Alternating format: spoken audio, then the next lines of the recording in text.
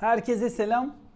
DJI Mavic 3 klasik kutu açılımı yapacağız. Ben Amerika'dayım. Ee, buraya niçin geldiğimi şuraya tıklayarak daha sonra muhtemelen 1-2 hafta sonra yükleyeceğim video ile izleyebilirsiniz. Videomuzun konusu olan drone ile alakalı bir şeyler söylemek istiyorum. Ben 2017'den beri yaklaşık 5,5 yıldır DJI Mavic Pro'yu kullandım. Ağır, 1 e, kilograma yakın bir drone'du o da. Ben ağırlıkta böyle yüksek rüzgarda yani 50 e, kilometrelerde esen rüzgarda işte 35 knotlarda kitesurf yaparken e, drone ile çekimler yaptığım için ağır drone gerekiyordu bana. E, o yüzden o drone'u almıştım. Ama tabii ki üstüne bir sürü özellikler çıktı. Yeni sensörleri çıktı e, ve yenilemek istiyordum sürekli drone'umu aslında. Bu arada kitesurf ile ilgili e, şuraya tıklayarak hangi videolar olduğunu izleyebilirsiniz. O yüzden e, yeni bir drone almak istiyordum. Şu an e, Kasım'ın kaçındayız? 17 Kasım 2022 tarihinde geçen hafta DJI Mavic 3 klasiği çıkarttı. Şöyle DJI Mavic 3 Pro'yu almak istiyordum ben ama 2200 dolarlarda Amerika fiyatı. Türkiye'de hiç söylemeyeyim arkadaşlar yani 65 bin civarındaydı yanlış hatırlamıyorsam en son. Ama ben ağır bir drone istediğim için Mavic 2 mi alayım, Mavic 3 mü alayım, o kadar paraya değer mi derken ben Amerika'ya geldiğim hafta yani geçen hafta Mavic 3 klasik e, satışa sunuldu ve özelliklerini ben işte baktım araştırdım hani e, gerçekten e, bana uygun mu değil mi ona baktım. Mavic 3 klasik çok fazla da böyle hakim de değilim konuya. Ee, ilk defa kutuyu da birlikte açacağız. Gerçekten açmadım. DJI RC e, modeliyle, RC Pro olmayan normal RC ekranlı modeliyle aldım. Çünkü onunla da alakalı şunu eklemek istiyorum. Her seferinde telefon takmak çıkartmak çok zor. Ben hazır açayım, uçurayım, kapatayım. Yani telefonu tak, telefonun şarjı olmuyor.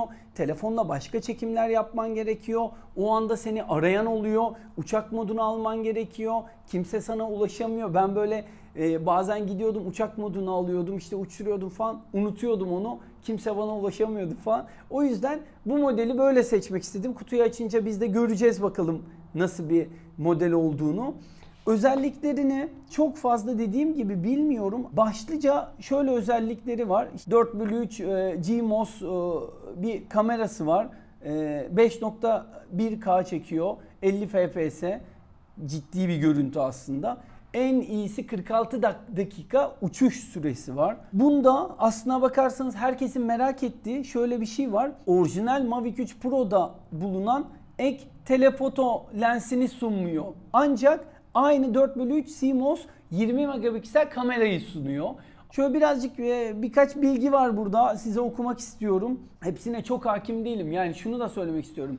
Ee, ürün incelemede evet ben e, çok fazla yokum. Aslında e, Türkiye'ye dönünce şöyle bir video da yapmak istiyorum. E, bütün videoları çekerken hangi drone'u kullanıyorum, hangi action kamerayı kullanıyorum hepsini anlatacağım. Onun için tekrar bir video olacak. Belki ileride onu e, yüklediğimde bu video olursa onu da buraya tıklayarak izleyebilirsiniz. Daha yok ama muhtemelen 2-3 hafta sonra olacak. Şöyle bir şeyler e, bilgiler buldum internette. Onları okumak istiyorum. Çok yeni bir drone. Yani e, yaklaşık bir hafta önce Amerika'da satışa sunuldu. Bu kadar. Ben de Amerika'da olduğum için şu an hemen Amazon Prime'dan satın aldım. Fiyatına falan hepsine geleceğim. 5.1K 50 FPS çektiğini söylemiştik. 4K 60 FPS, 1080 60 FPS çekiyor. Ağır çekimde çok iddialı 4K 120 FPS ve 1080 200 FPS çekebiliyor. Yani bu gerçekten ciddi böyle ağır çekimlerde iş görür. Görüntüler, videolar uzaktan kumandayla bağlanmadan Wi-Fi 6 teknolojisiyle 80 megabit'e varan hızlarda doğrudan drone'dan mobil cihaza e, indirilebiliyor. Bu da çok iyi bir özellik. Yani bunu da çok merak ediyorum. Yani her seferinde kartı çıkart oradan küçük bir görüntü olsa bile kartı çıkartıp aktarmak çok zor. Onu da e, görmüş olacağız. Mavic 3 Classic'in kamerası 12.8 durak doğal dinamik aralık için e, f2.8 ila f11 arasında ayarlanabilir bir diyafram açıklığı. 24 mm eşdeğeri odak uzaklığına sahip bir merceğe sahip. Drone ayrıca DJI'nin otomatik quick shot çekim modu, time lapse, hyper lapse e, ve panorama çekim desteğiyle birlikte geliyor. Drone pilotluktan ziyade e, fotoğrafçılığa odaklanmak için sabit bir uçuş hızı ayarlamanıza izin veren bir hız sabitleyici özelliği var. Çok merak ediyorum bunu ve nesnelere kilitlenip daha kararlı çekimler yapmanıza olanak sağlayan Active Track 5 özelliğine sahip. Bu da videolarda gördüm. Yani bugün bu videonun arkasında e, bunları göremeyeceğiz ama ilerleyen videolarda mutlaka Active Track'ın neler yapabildiğini, e, yeni özellikle Active Track 5'in neler yapabildiğini göstereceğim hepinize. Drone EPAS 5 engellerden kaçınma sistemine bilgi besleyen 8 görsel sensör sayesinde tehlikeler etrafında rotaları bağımsız olarak planlayabiliyor. Bu da çok güzel. İşte hani siz ağacın arkasına kalsanız da o bir şekilde diğer e, nesnelere bakarak sizi bir şekilde takip etmeye devam ediyor. Eve dönüş sistemi yerel ortamın 200 metre bir mesafe içinde taradıktan sonra kalkış noktasına geri dönmek için en iyi yolu izleyebiliyor. Bu da değişik. Drone sıkışık bir alanda uçmayı planlıyorsanız yakındaki uçakları ve e, ADS bir sinyallerini ileten helikopterleri algılamak için bir e, AirSense alıcısı ile donatılmış. Fiyatına gelelim. E, fiyatı da şu an sadece drone'u alırsanız Amazon'da 1469 dolara alıyorsunuz. Eğer elinizde daha önceden DJI kumandanız varsa e, DJI RC e, ekransız bir kumandayla 1599 dolara benim aldığım ekranlı bir RC kumandayla da 1750 dolara satın alabiliyorsunuz. Küçük bir vergisi var. Ee, yanlış hatırlamıyorsam 60 dolarda bir vergisi oluyor. Ee, 1800 dolar civarında kumanda ile birlikte geldi ama bundan sonra ben drone'umu değiştirirsem kumandayı satmam. Sadece e, drone'u değiştiririm. E, kumandasız bir drone alırım diye düşünüyorum. O zaman kutu açılımına geçelim bakalım. Ben de sizde ilk defa açıyorum. Özellikle doğallığı bozulmasın diye açmadım. Hiçbir tarafı açılmamış durumda. Amazon Prime Amerika'da çok ilerlemiş arkadaşlar. Yani e, gerçekten işlerinde çok iyiler. Verdikleri tarihte getirdiler e, ve sadece bunda değil her şeyde çok hızlı ve başarılılar. Ve drone'umuz çıktı. Şöyle aşağı atayım. Şunu da atayım alırım sonra. Ve drone burada. Direkt kumandasıyla hazır olan bir e, paketle geldi. Bakalım açacağız.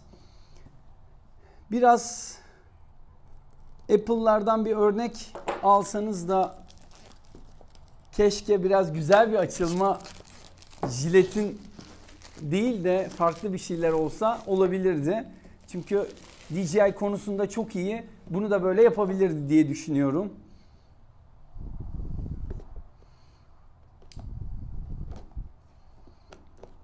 Kutuyu zedeleye zedeleye açtım. Burada e, barkodla yapabileceğiniz işte tam özellikleriyle ilgili yeri var. Evet burada da böyle ilginç bir şey yapmışlar. Tam drone'u sıkı sıkı tutsun diye. Ve elime alıyorum. Güzel. Cüsseli bir hissiyatı var.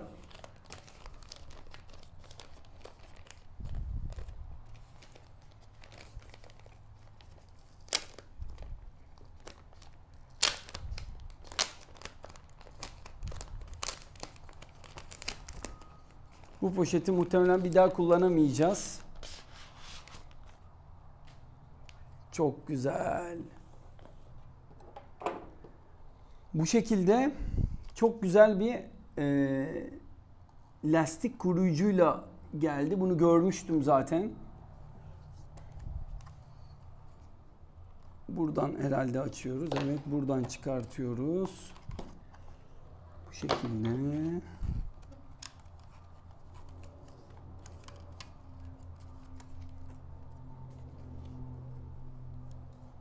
Her yerde sensör var. Çok başarılı. Buraya bir sünger koymuşlar. Muhtemelen e, uzun taşımacılıkta arızalanmasın diye. Çok güzel.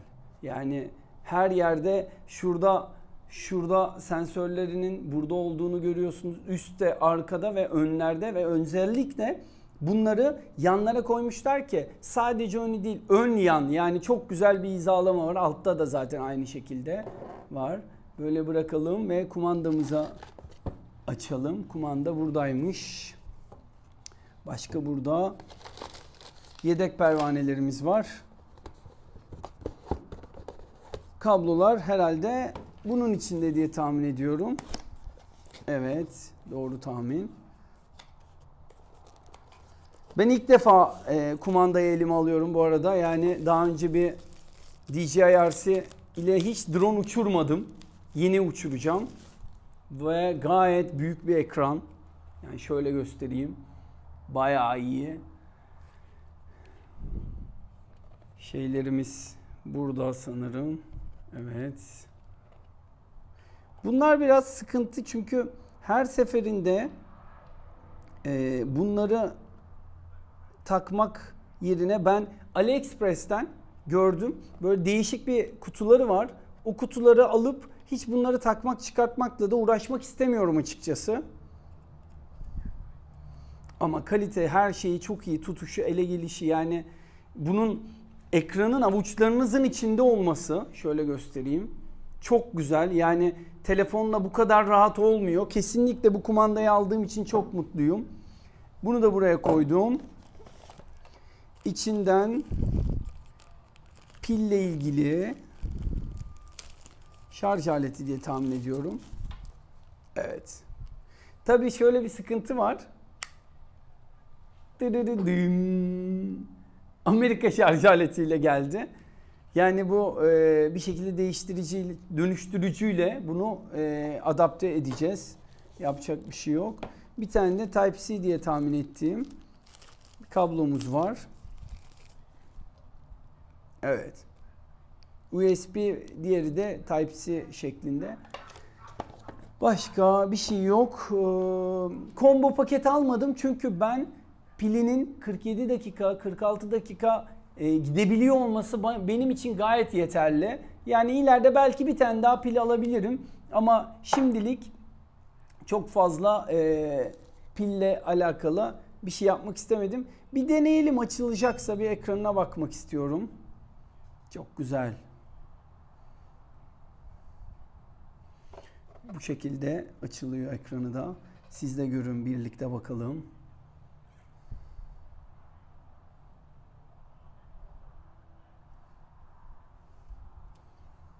Dokunmatik hissiyatı çok güzel. Wi-Fi'ye falan bağlanmak gerekiyor sanırım arkadaşlar. Daha sonra bunlara bakarız detayları ama hissiyatı, görüntüsü, e, dokunmatik şeyi çok güzel, çok başarılı. Böyle kısa bir kutu açılım videosu olsun istedim. Bütün özelliklerini tek tek kullana kullana zaten ben daha önceki Mavic Pro drone'dan hepsine hakimim. İyi bir drone kullandığımı düşünüyorum. Bunda da aynı şekilde e, size detayları hızlıca çektiğim e, videolarla göstermek istiyorum. Bu tarz e, inceleme videoları ve e, bunun yanında karavan hayatıyla alakalı videoları e, izlemek istiyorsanız lütfen kanalıma abone olun. Bildirimleri de açın. Yeni videolarda görüşmek üzere. Hoşçakalın.